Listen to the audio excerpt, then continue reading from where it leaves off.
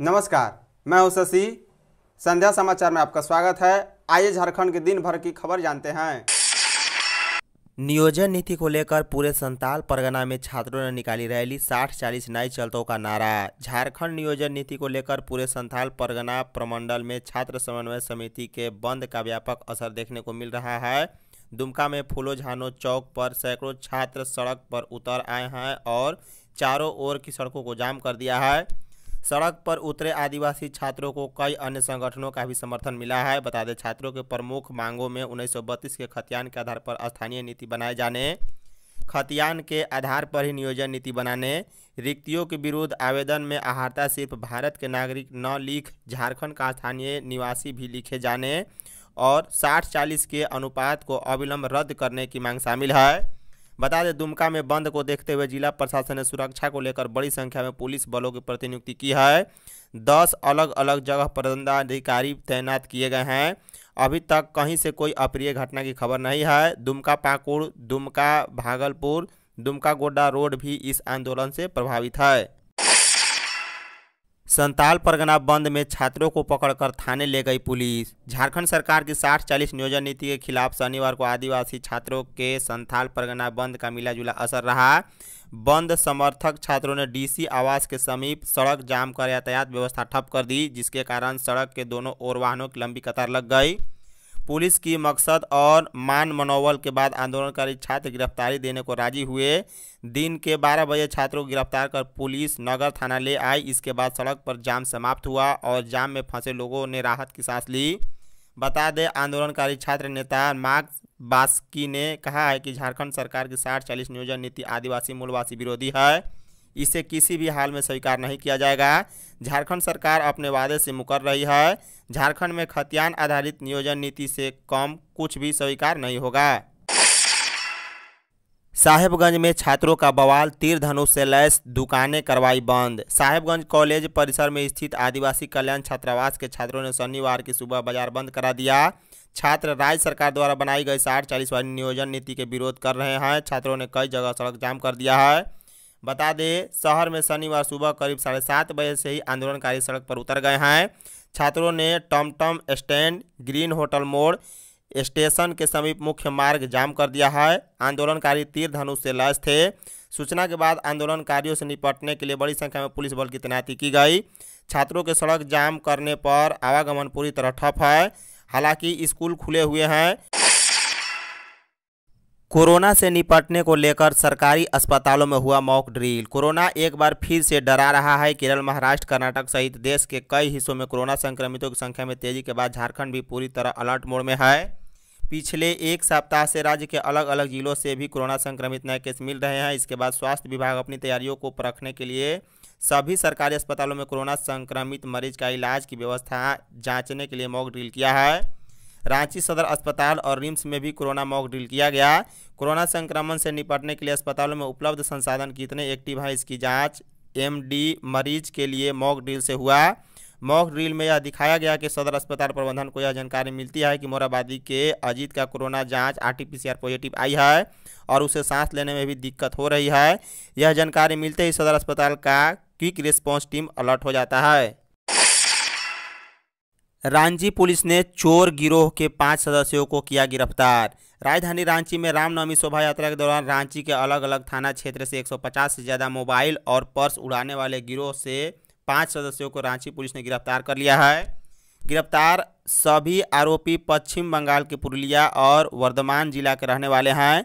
सभी आरोपियों की गिरफ्तारी रांची के लोअर बाज़ार थाना क्षेत्र की गई। राजधानी रांची में पश्चिम बंगाल के चोर गिरोह सक्रिय हैं। चोरों की वारदातों को अंजाम देकर तुरंत पश्चिम बंगाल भाग जाने की वजह से आरोपी पकड़े नहीं जाते थे, लेकिन इस बार रांची पुलिस ने इस गिरोह के पाँच सदस्यों को धर दबोचा है। वकीलों की समस्याओं का होगा निस्तारण। 30 अप्रैल तक तैयार हो जाएगी हाई कोर्ट की नई बिल्डिंग। झारखंड हाई कोर्ट का नया भवन 30 अप्रैल तक तैयार हो जाएगा। इसके बाद इसे हाई कोर्ट को हस्तांतरित कर दिया जाएगा। राज्य के भवन निर्माण सचिव ने शुक्रवार को यह जानकारी हाई कोर्ट को दी है। इस पर चीफ जस्टिस संजय कुमार मिश्र और जस्टिस आनंद सेन की अदालत ने मामले की सुनवाई चार मई को निर्धारित की। अदालत ने भवन निर्माण सचिव से कहा है कि हाई कोर्ट के वकीलों के नए भवन में उन्हें होने वाली जिन समस्याओं से अवगत कराया है, उसका हल बैठकर निकाला जाएगा। पूर्व में मामले की सुनवाई के दौरान हाई कोर्ट ने वकीलों की एक कमेटी बनाई थी। कमेटी को भवन निर्माण में शामिल सभी एजेंसियों के अधिकारियों के साथ निरीक्षण कर रिपोर्ट देने को कहा था। झारखंड के छह नक्सल प्रभावित जिलों को विशेष केंद्रीय सहायता के तहत मिले इक्यावन पॉइंट सात तीन करोड़। झारखंड के छह नक्सल प्रभावित जिलों को वित्त वर्ष 2022-23 के लिए इक्यावन पॉइंट सात तीन करोड़ मिले हैं। यह राशि केंद्र प्रायोजित पुलिस आधुनिकीकरण योजना अंतर्गत विशेष केंद्रीय सहायता योजना के तहत दी गई। गिरिडीह को 10 करोड़, गुमला को 10 करोड़, खूंटी को 9.89 करोड़, सरायकेला को 10.25 करोड़, चाईबासा को 10.25 करोड़ और चतरा को चौरासी लाख रुपए मिले हैं। बता दें, विशेष केंद्रीय सहायता योजना के तहत मिली राशि से राज्य के छः जिलों में सार्वजनिक आधारभूत संरचना और सेवाओं से संबंधित क्रिटिकल गैप्स को भरा जाएगा। इसके लिए भारत सरकार के गृह मंत्रालय ने देश के अति उग्रवाद प्रभावित जिलों में विशेष केंद्रीय सहायता देने की योजना बनाई थी, जिसमें छः ज़िले झारखंड के हैं।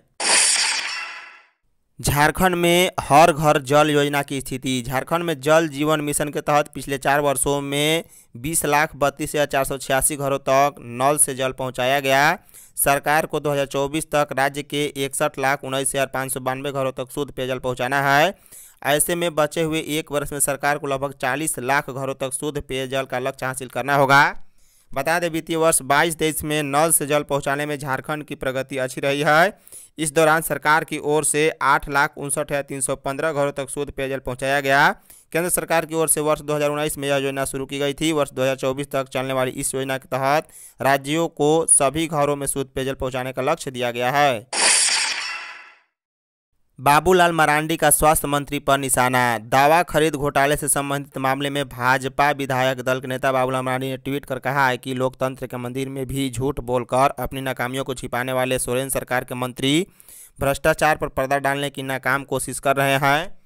एल वन कंपनी को दरकिनार कर उच्च दामों में दवाइयाँ खरीदने वाले स्वास्थ्य मंत्री विधानसभा में झूठ बोलते हुए कहा है कि केंद्र सरकार के रसायन एवं उर्वरक मंत्रालय के निर्देशानुसार राज्य सरकार सरकारी कंपनियों से दवाइयाँ लेने के लिए बाध्यकारी है, जबकि यह दवा बिल्कुल झूठ है।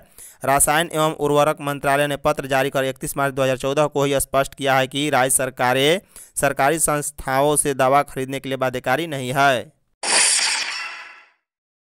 पाकुड़ में साठ चालीस के खिलाफ सड़क पर युवा।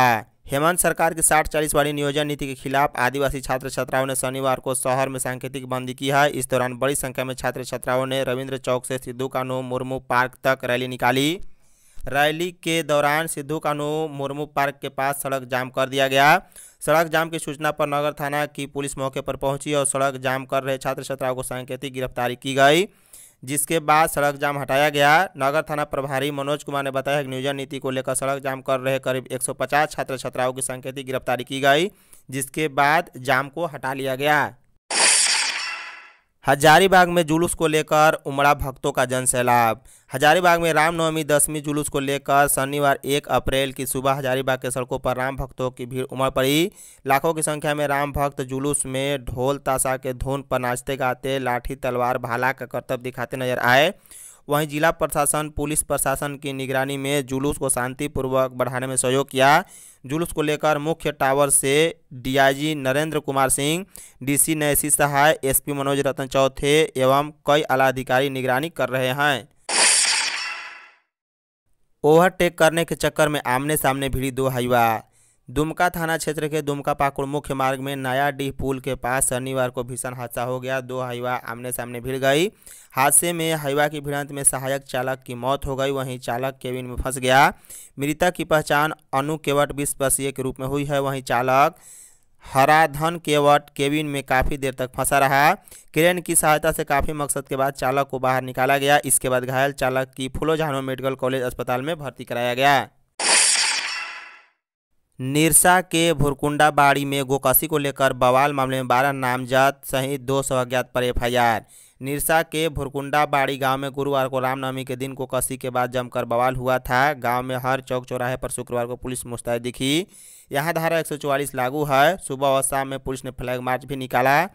पुलिस ने माइक से लोगों से घरों में रहने और भीड़ न लगाने की अपील भी की। गाँव के मध्य विद्यालय में पुलिस कैंप बना है। SDPO Pitambar Singh Kherwar, Nirsa circle inspector Nayan Sukh Dadel, थानेदार दिलीप कुमार यादव गाँव में ही कैंप कर रहे हैं। फ़िलहाल गाँव में शांति है। बता दें, थाने में बारह को नामजद किया गया है और दो सौ अज्ञात पर प्राथमिकी हुई है। रांची एयरपोर्ट पर आईएलएस सिस्टम खराब। राजधानी के बिरसा मुंडा एयरपोर्ट पर इंस्ट्रूमेंट लैंडिंग सिस्टम आईएलएस सही समय पर काम नहीं करने के कारण विस्तारा का विमान रांची से भुवनेश्वर के लिए डाइवर्ट कर दिया गया। इसके बाद एक घंटे के बाद रांची में उसकी सुरक्षित लैंडिंग कराई गई। रांची एयरपोर्ट पर आईएलएस सिस्टम सही तरीके से काम नहीं करने की एयरपोर्ट पर आए दिन यात्रियों के लिए खतरा बना हुआ है। शुक्रवार को भी कुछ ऐसा ही देखने को मिला जब देर शाम विस्तारा के विमान एयरपोर्ट पर लैंड करने लगी तो लो विजिबिलिटी के कारण उसे आनंद फाना में भुवनेश्वर डाइवर्ट करना पड़ा। धन्यवाद। यदि आप चैनल पर नए हैं तो चैनल को सब्सक्राइब कर बॉल का बेल आइकन दबाइए, साथ ही साथ वीडियो को एक लाइक कर अपने दोस्तों के साथ शेयर करना भूलें। साथ ही साथ आप हमें कमेंट बॉक्स में अपना फीडबैक अवश्य दे। Thank you.